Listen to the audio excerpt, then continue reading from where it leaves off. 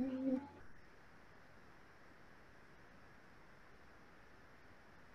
right, so um, my name is Raghda Abdel Maksoud and I am an advanced clinical aromatherapist, um, originally uh, Egyptian and now I'm living in the United States. Um, I am also uh, the founder and director of Ebers School of Aromatherapy, um, the international relationship director for the um, NAHA organization, which is the National Association for Holistic Aromatherapy. And uh, I'll, I'll, talk a little bit later about NAHA, but let's uh, start our uh, topic today uh, about plant medicine. Uh, so I, I would just like, uh, as I, every time I'm starting a presentation, I would like you guys to take a deep breath, uh, inhale and exhale. Uh, we have a lot of people from different countries and a lot of uh, great topics and uh, um, a lot of um, original plants in every country. Just open heart, breathe, and let's start objectives today is to talk about um, aromatherapy as part of plant therapy, of plant medicine. Um, what is aromatherapy? How does it work? The pharmacology, the chemistry, and the controversy behind the this science and art.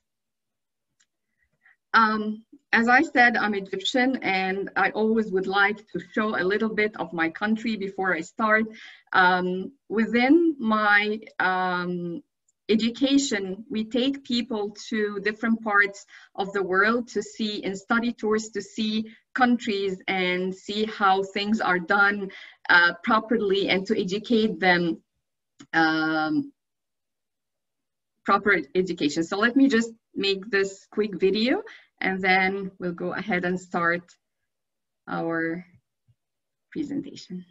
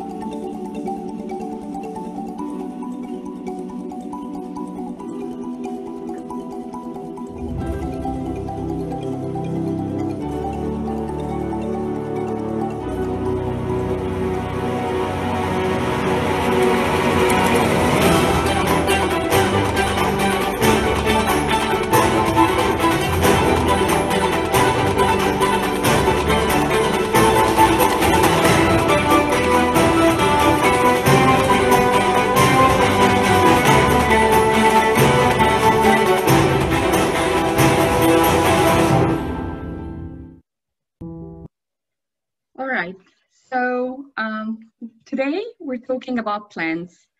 And as Albert Einstein said, look deep into nature and then you will understand everything better. And for me, before studying aromatherapy or even studying um, medicinal plant, I was working, okay, I was working in um, the medicinal herbs and aromatic plant industry for 25 years. Um, meeting growers, meeting uh, people, uh, food chemists, laboratory people, and um, the farmers who are actually behind this great uh, energy coming from the plant. Plants are very, very intelligent. They have been there for millions of years before us. They know how to adapt to changes. They harvest the sun, the water, and give us this amazing intelligence. We cultivate them and transfer them into food, into medicine, and into essential oils. And um, the molecules of these essential oils that we are actually extracting from the plant material is an amazing modality and an amazing um, alternative medicine modalities that we are using. Um, it, it changed my life completely when I started studying this. And I hope it will be something that will change um, people's life. Um, before starting and talking about aromatherapy and um, how it works, um, aromatherapy is not a cure or it's not to replace medicine. It is more for enhancing immunity, a better quality of life, to have less visits to the doctors and to have less medicine. But we cannot say that leave your medicine and start, for example, taking oregano or taking any other oil. This is completely not what we are trying to uh, tell people or educate them or to build awareness uh, about this.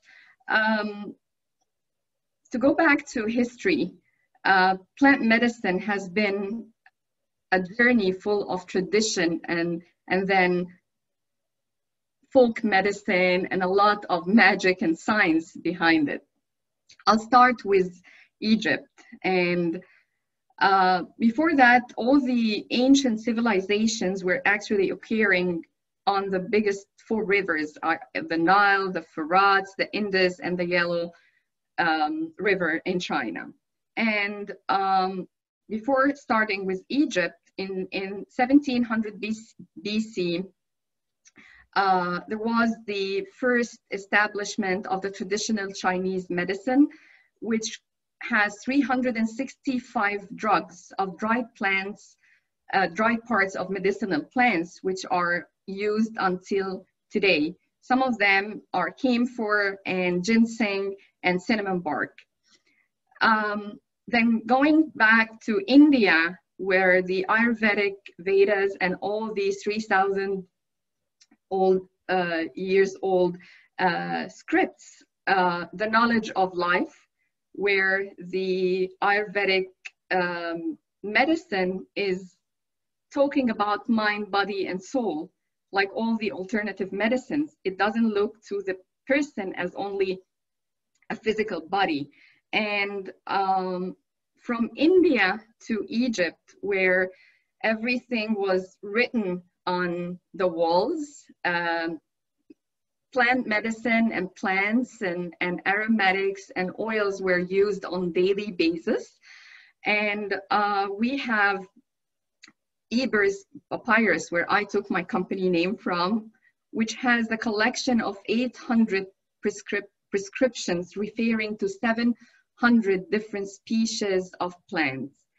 And it was very, very detailed.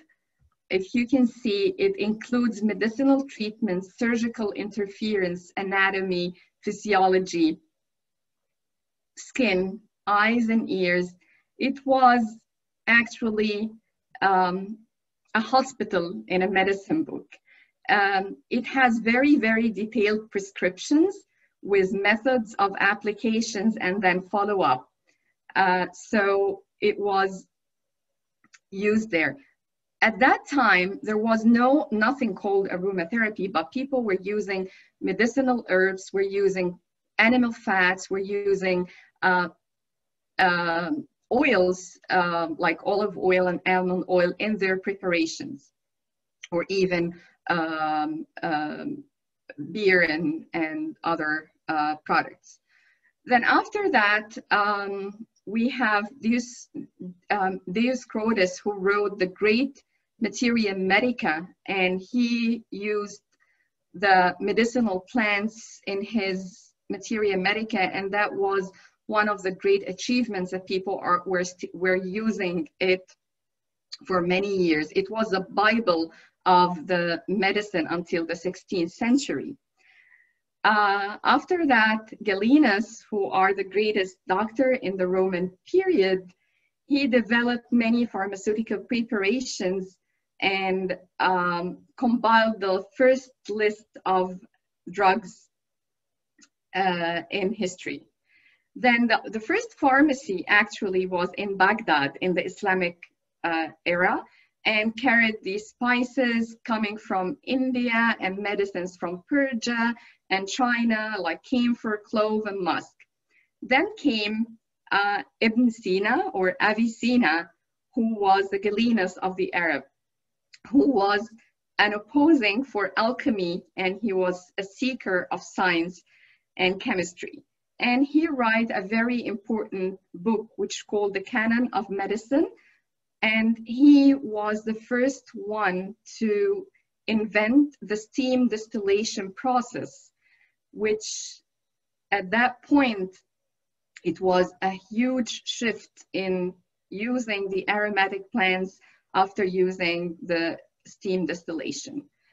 Um, after Avicenna, um, there was a lot of other great um, scientists and uh, through the 15th and 16th century, aromatic plants was still used widely in um, a lot of incidents like the Spanish plague where the um, doctors were wearing the peaks full of all the uh, herbs and like rosemary, sage, clove, and camphor in order to go through the bodies in, in Europe.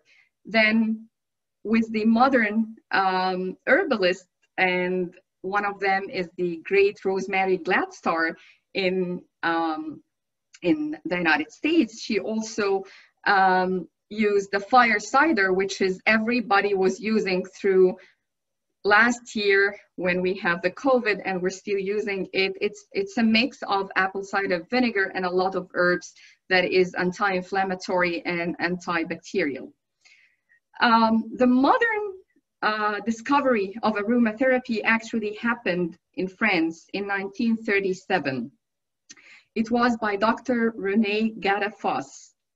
He was working in his laboratory and accidentally he suffered from a burn of some chemicals that he was using. And he applied lavender oil, and after two days, all of the pains and the burns were actually um, gone. And he was very extensively researching what happened.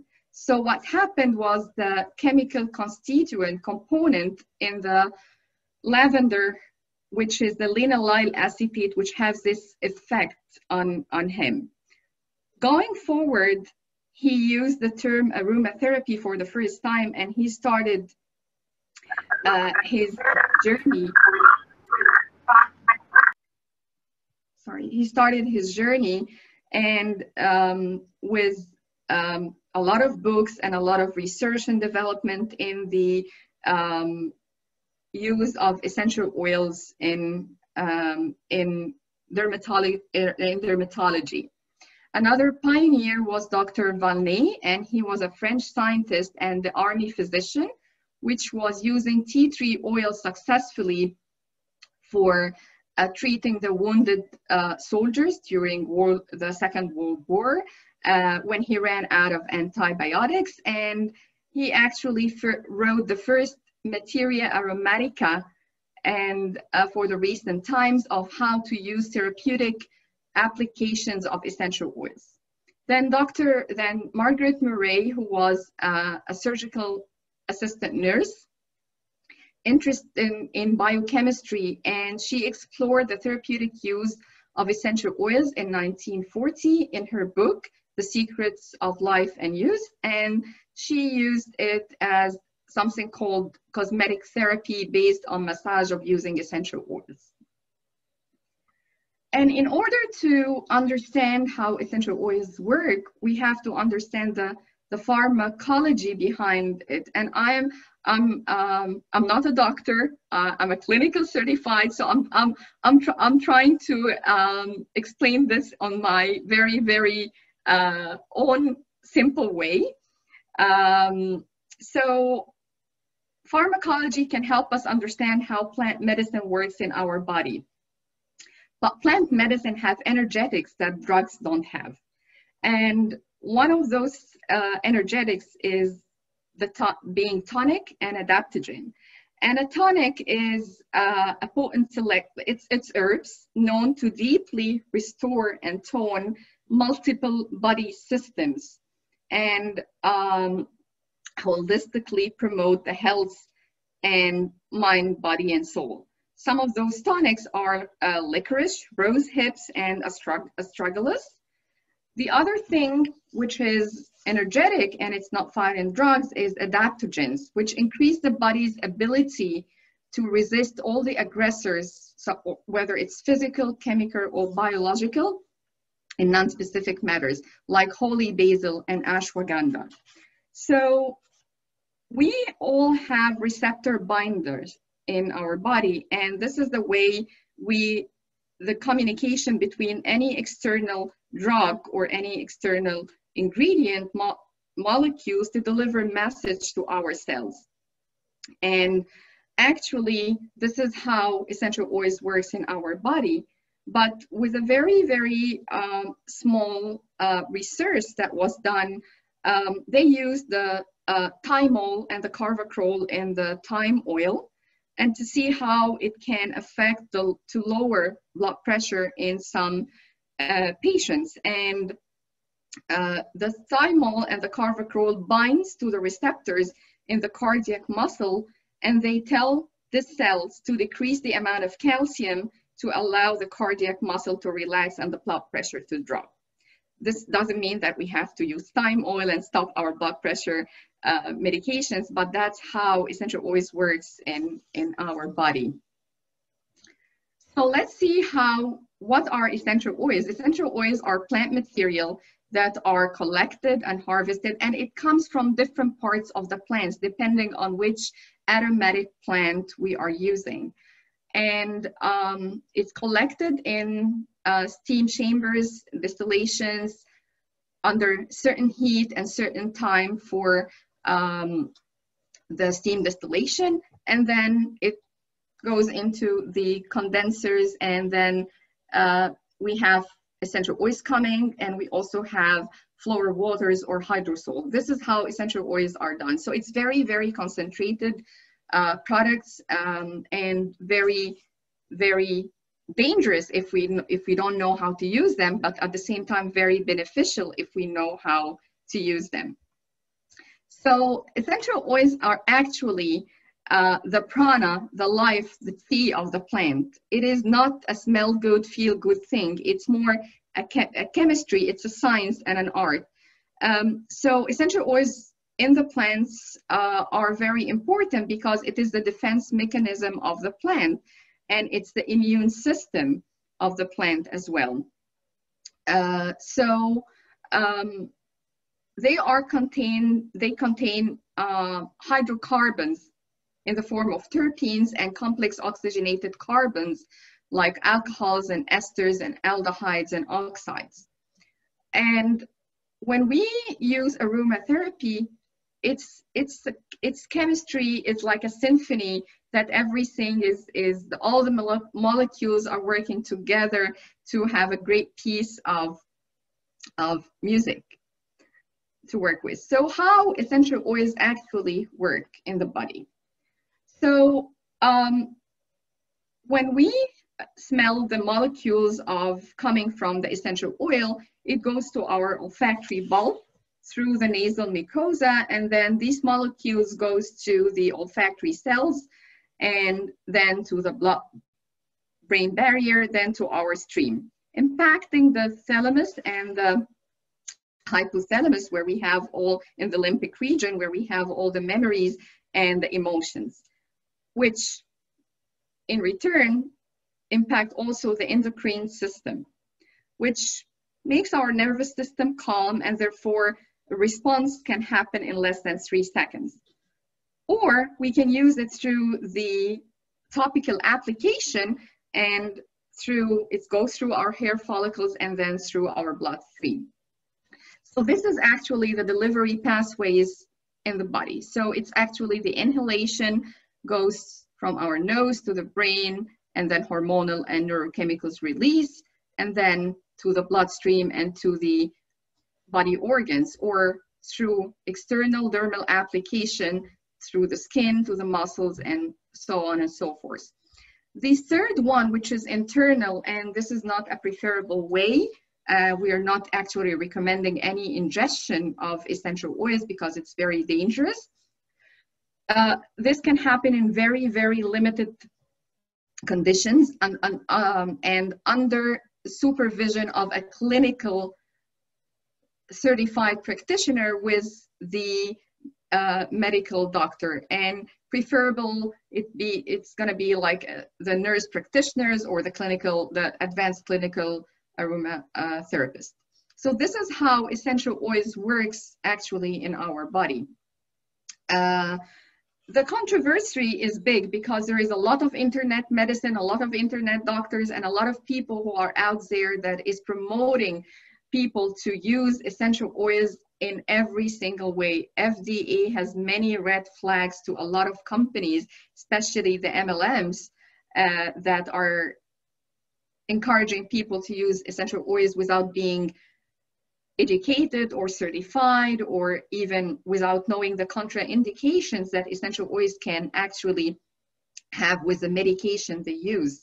So that's why it's very important when we uh, use essential oils is to follow up with a practitioner who studied chemistry, botany, taxonomy, body systems, and know exactly what they are doing.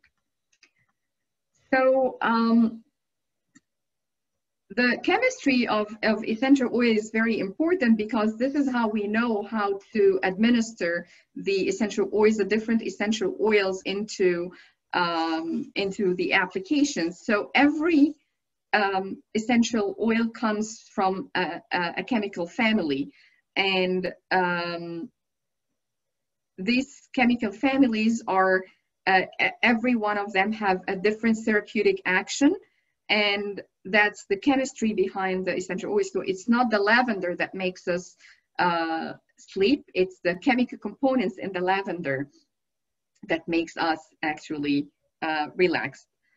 Um, so I picked today um, different um, products, uh, different essential oils.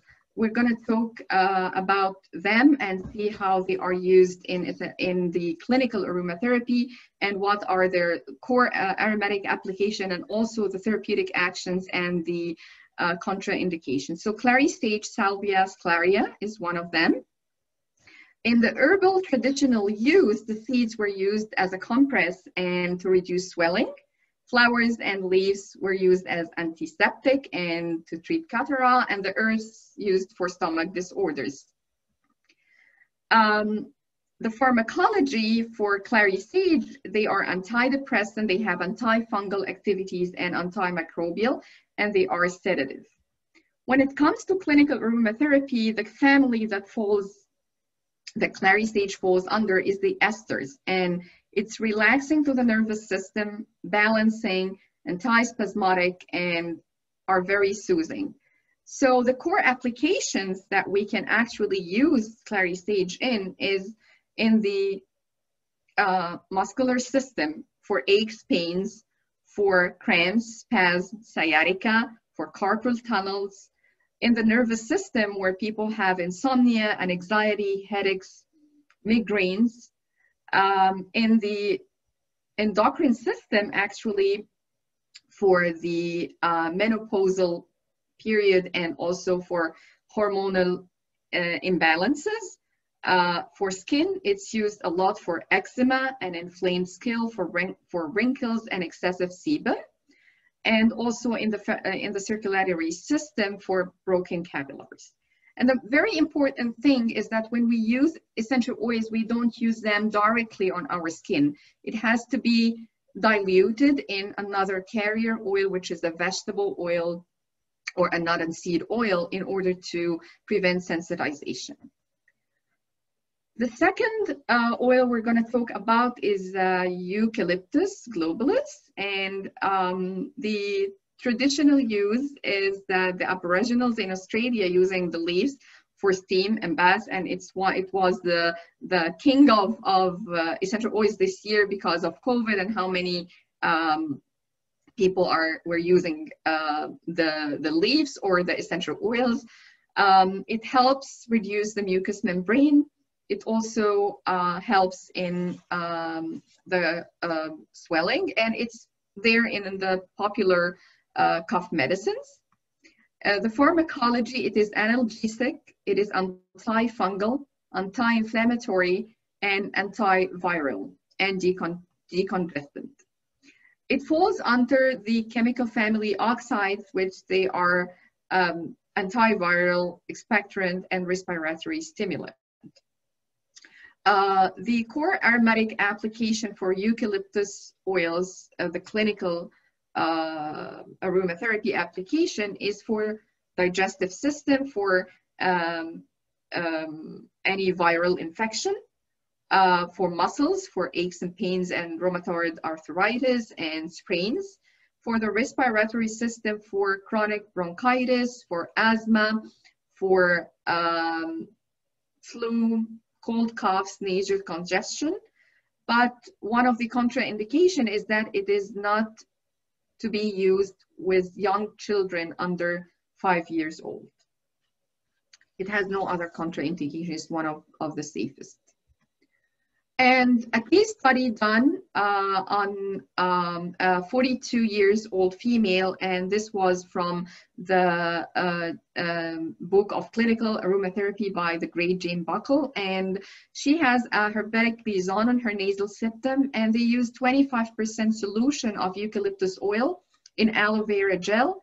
This was applied twice daily every two hours, and the lesion decreased in size, the pain was reduced, and the usual healing time with medicine was 10 days versus the two to three days.